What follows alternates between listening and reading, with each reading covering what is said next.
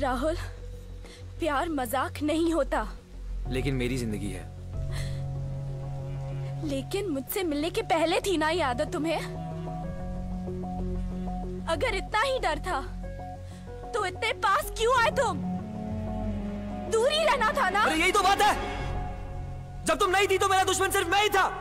इसके पहले कि मैं तुम्हारा बन जाऊँ जस्ट गो अवे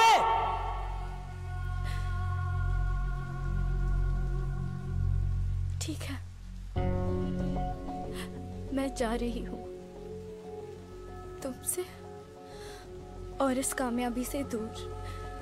अपनी कामयाबी को इतना छोटा मत समझो आरुई सिर्फ़ नसीब वालों को नसीब होती है ये। जानती हूँ। और ये भी कि मेरे बुरे वक्त में तुम थे मेरे साथ। अब अगर अच्छे वक्त में तुम नहीं तो ये वक्त भी मुझे नहीं चाहिए।